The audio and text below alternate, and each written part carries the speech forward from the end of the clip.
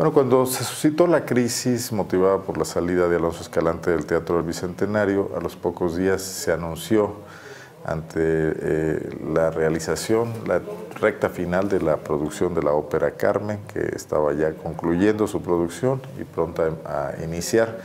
Se anunció por parte del Foro Cultural que se designaba a un coordinador externo para la completa y plena realización de los preparativos de la ópera Carmen.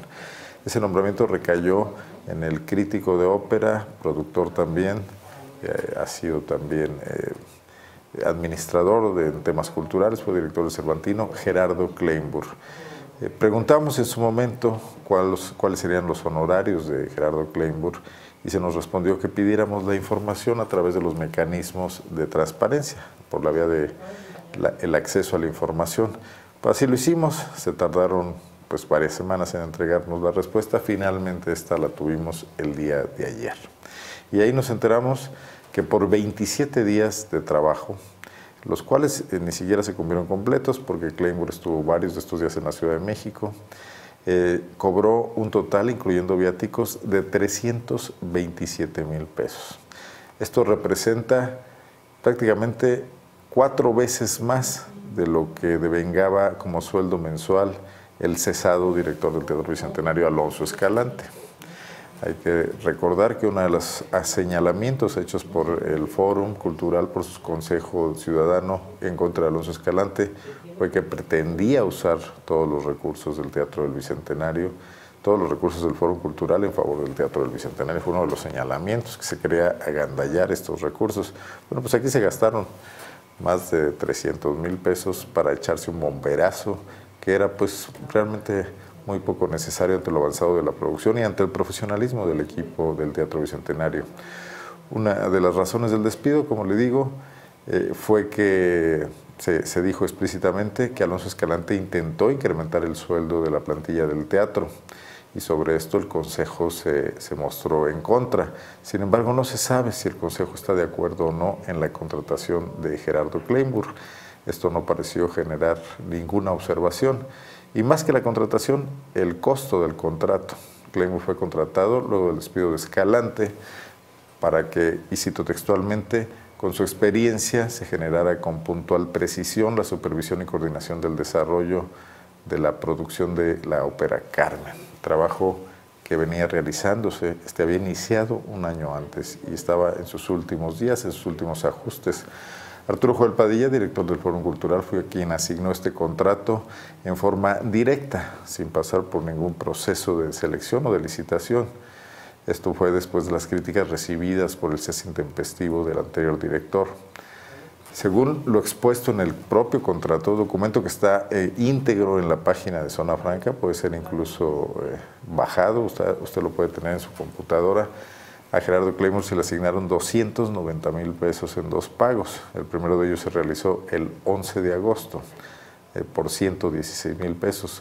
El segundo fue, o será hecho, mejor dicho, el 21 de agosto, el próximo lunes, por los 174 mil pesos restantes. Este monto incluye el impuesto al valor agregado. Además, se le pagaron 27 días de hotel, siendo un total de 22 mil pesos, un poco más de 22 mil pesos otros, son, otros gastos son 10.800 pesos por concepto de comidas. En total, el Fórum Cultural Guanajuato gastó en la contratación del asesor 323 mil pesos por supervisar Carmen. Le repito, del 25 de julio al 21 de agosto. Bueno, realmente esta semana ya hay poco que hacer, incluso Gerardo Kleinburg se la ha pasado ya varios días en la Ciudad de México. En 20 días, el asesor, el exdirector del Cervantino, ganó, y estas son algunas comparaciones para tener una idea, el doble que el sueldo mensual del gobernador de Guanajuato. Miguel Márquez, de acuerdo a la página de transparencia del Estado, cobra 177.425 pesos mensuales. Ganó el triple que el director del Fórum Cultural, el propio Arturo Joel Padilla, quien gana 103 mil pesos mensuales. Y como le decía, casi cuatro veces más que Alonso Escalante, el anterior director del Teatro del Bicentenario. Llama la atención la cláusula décima del contrato en el que la dependencia obliga a Kleinburg a no divulgar ni transmitir a terceros datos e información que lleguen a ser de su conocimiento con motivo de la prestación de servicios pactados, por lo que mantendrá absoluta discreción y confidencialidad inclusive al término del contrato. Es una cláusula de confidencialidad. Durante la charla eh, que preparatoria a la presentación de Carmen, la charla con el público que se acostumbraba desde que iniciaron las temporadas de Ópera en León, el director musical José Arián dijo ante una pregunta de, uno de los asistentes que el trabajo de Kleinburg consistió solamente en convertirse en un vínculo entre el equipo del Teatro del Bicentenario con el Fórum Cultural Guanajuato, pues todos los aspectos de la ópera, y se refería a aspectos artísticos, creativos, musicales, técnicos y operativos habían sido resueltos con antelación. O sea que esta asesoría solamente fue para realizar prácticamente una labor de relaciones públicas, si nos atenemos a lo que dijo José Arián. Eh, vamos a, bueno, eh, aunque en el anexo de la ejecución del contrato, en el punto 15, se establece que Gerardo Kleinburg deberá estar disponible las 24 horas del día durante el periodo de ejecución de los servicios a su cargo para cualquier situación relacionada con la producción. Esto no, no fue así. El crítico acudió por lo menos un día a la Ciudad de México a impartir una charla introductoria sobre una ópera, El secreto de Susana, en la Ciudad de México. Y esto se encuentra registrado en redes sociales. Tenemos un video eh, que es proveniente de Twitter, de una cuenta de la UNAM. Lo, lo podemos, eh, podemos poner este video. Vamos, vamos a ver ahí, pues una prueba evidente de que no estuvo en León de tiempo completo. Parece ser que esta semana también ha estado en la Ciudad de México varios días. Bueno, pues así, así están las cosas.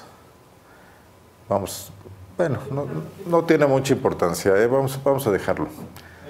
Eh, el día de hoy esto dio un nuevo giro. Esta mañana se designó, y se informó oficialmente en un boletín del Fórum Cultural que se designó a Jaime Ruiz Lovera como director del Teatro del Bicentenario en sustitución de la plaza que ocupaba Alonso Escalante. Así lo informó la Coordinación de Comunicación Social, nadie más eh, firma el boletín.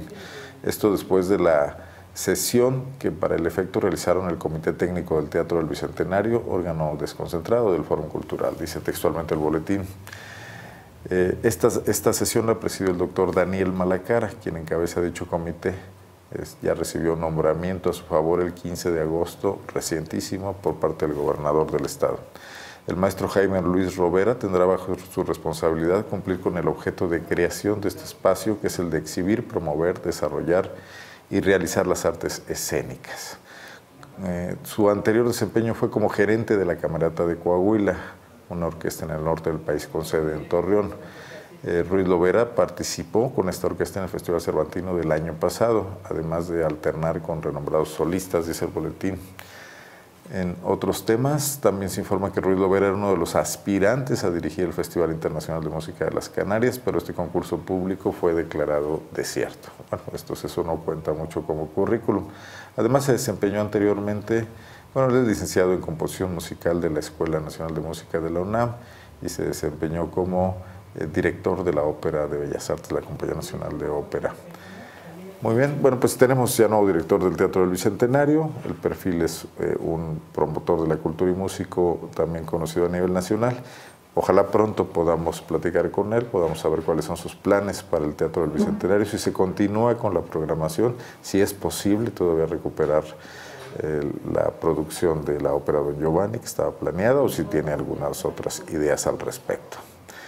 Voy a una pausa, el tema sigue dando mucho de qué hablar y sin duda, por cierto, nada más comentar que en redes sociales hace unos momentos el eh, activista Roberto Saucedo Pimentel eh, comenta al conocer la, la, magnitud del sueldo del contrato otorgado a Gerardo Kleinburg que se presume un daño al erario por esta causa, una contratación innecesaria de una asesoría que prácticamente no se requería ni era urgente, pagada a tan alto precio, puede configurar un daño al erario público y por ello piensa presentar una denuncia ante la Contraloría. Le hemos dicho a Roberto Saucedo que nos mantenga al tanto de esta situación, si presenta la denuncia y saber también eh, cómo, qué tratamiento le da la Secretaría de la Transparencia. Mejor dicho, ya no existe la Contraloría en Guanajuato.